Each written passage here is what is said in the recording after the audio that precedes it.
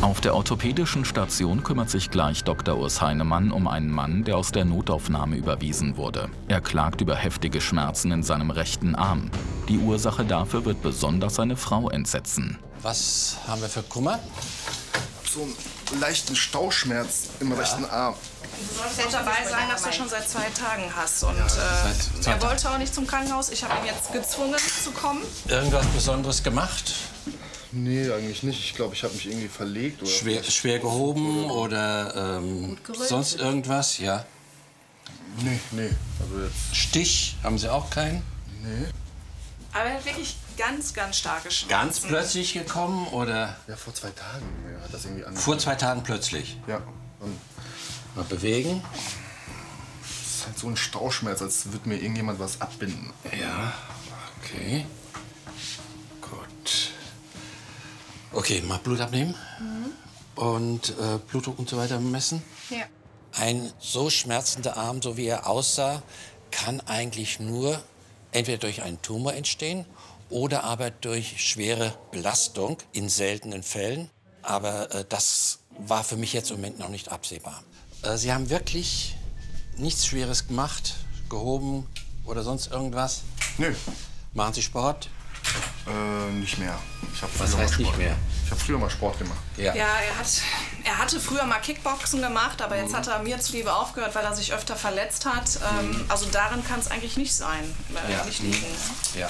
Wenn der ganze Arm betroffen ist, denkt man natürlich irgendwo an eine Thrombose. Da der Patient mir aber immer wieder verweigert hat und gesagt hat, nein, er hat nicht schwer gehoben, habe ich das für mich erstmal hinten angestellt. Sieht doch ein bisschen aus wie eine Allergie, ich weiß auch. Nee, Allergie ist es nicht. Das tut auch nicht. Haben Sie denn schon Schmerzmittel dagegen genommen? Äh, ja, so entzündungshemmende. Nehmen Sie generell irgendwelche Medikamente ein? Nee, nur halt jetzt äh, wegen den, die entzündungshemmenden Medikamente. Welche Stärke? Äh, 400er? 400er, gut. Er hätte schon eher kommen sollen. Ich musste Ja, ja. wirklich jetzt hierher schleifen. Ja, ja. Und ich meine, zwei Tage ist ja eigentlich, ne? kann man ja eigentlich abwarten, oder? Äh, nee, kann man eigentlich nicht. Nee? Nee, sollte man nicht. Man soll es ja, gerade so, sowas, sollte man auf alle Fälle an, abklären. Ja gut, so rot ist es ja erst seit heute Morgen, oder? Wenn das Ja, und es so war gestern schon sehr Ne? rot, ja. Ja. Wichtig für uns ist immer, dass der Patient uns auch wirklich sagt, was los ist. Leider erleben wir es häufig, dass Patienten uns nicht die ganze Wahrheit sagen oder das Wichtigste eigentlich weglassen, sodass wir wie ein Detektiv jetzt dahinterher sein müssen, um rauszukriegen, was hat er eigentlich. Ja, müssen wir halt den Arm mal röntgen, um mal zu gucken, ob innen irgendwas drin nicht in Ordnung ist. Du machst ihn fertig hier und ähm, bringst ihn zum Röntgen, ne? Zur Abklärung des Krankheitsbildes ist im Prinzip immer erstmal eine Blutuntersuchung sinnvoll. Es war ja eine Rötung da, es könnte ja hier theoretisch eine Entzündung da sein. Die Entzündungsparameter sind wichtig für mich. Und dann muss ich auch ausschließen, dass irgendetwas am Knochen sein könnte oder aber auch ein Weichteiltumor. Das könnte man über die Röntgenaufnahme erstmal abklären. Eine gute halbe Stunde später liegen dem behandelnden Arzt bereits die Untersuchungsergebnisse aus der Radiologie und dem Labor vor. Obwohl es keine Auffälligkeiten gibt, ist an Entwarnung noch lange nicht zu denken.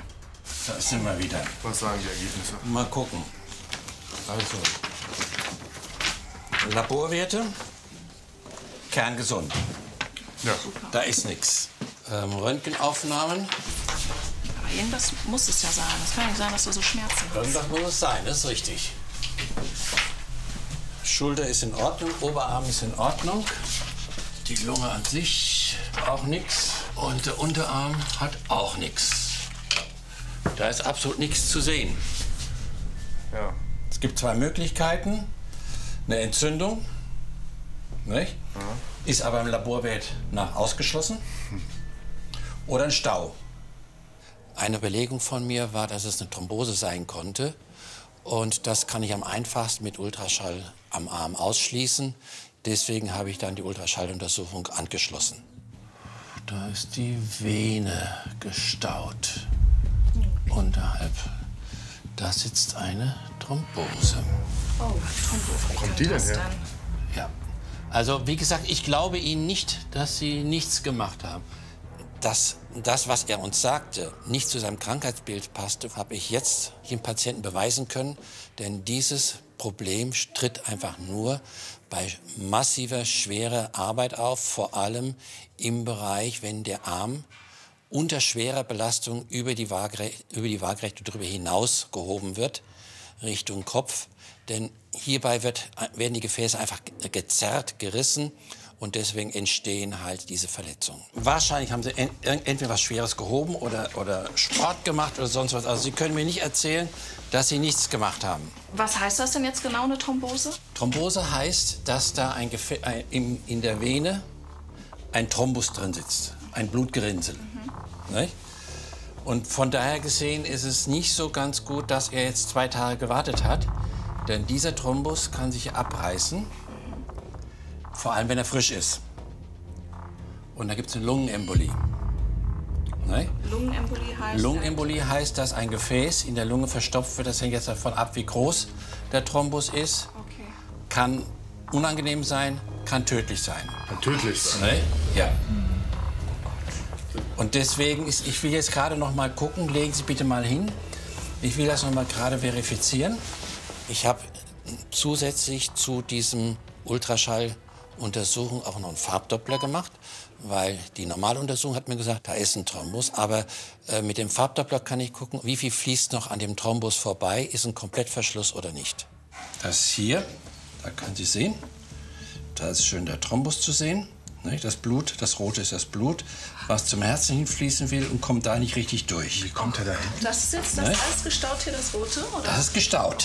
Ne? Und das ist etwas was ich Ihnen jetzt nicht glaube, dass Sie nichts Schweres gemacht haben. Mama, Schatz, könntest du vielleicht draußen warten?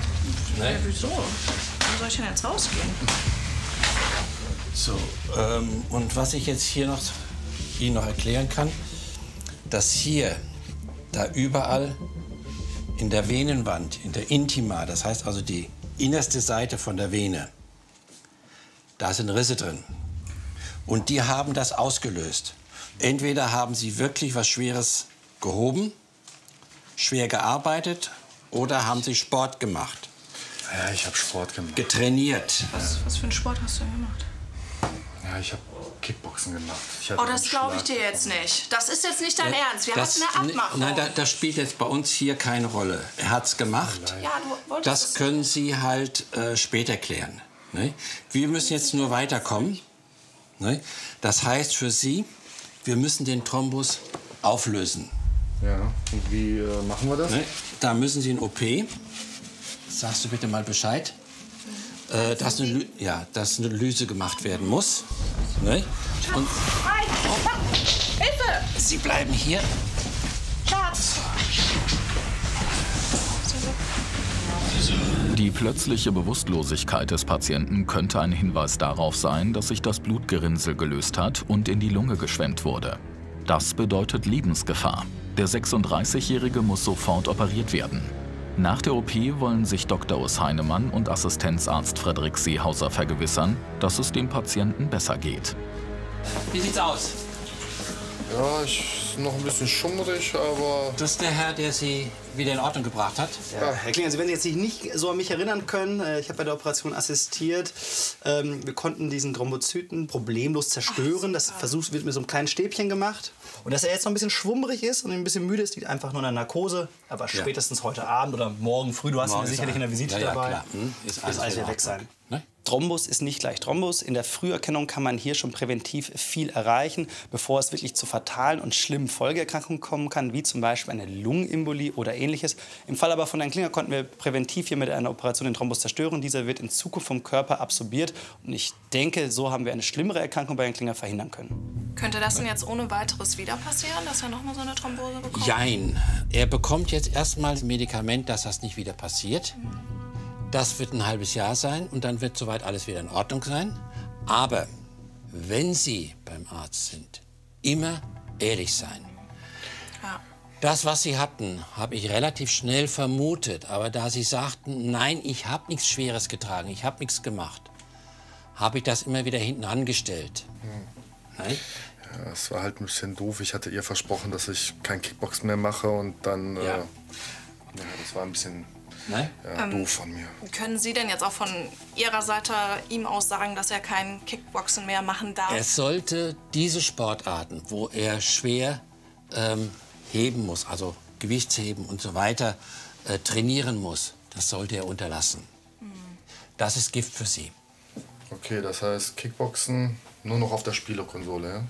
Auf der Spielekonsole, ja. Können wir dann ja zusammen machen. Das, Nein? Da freue ich mich drauf. Ja. Der 36-Jährige hat sich vollständig von der Thrombose erholt und konnte eine Woche später die Klinik verlassen. Das Kickboxen hat er endgültig aufgegeben. Stattdessen geht er jetzt zusammen mit seiner Frau joggen.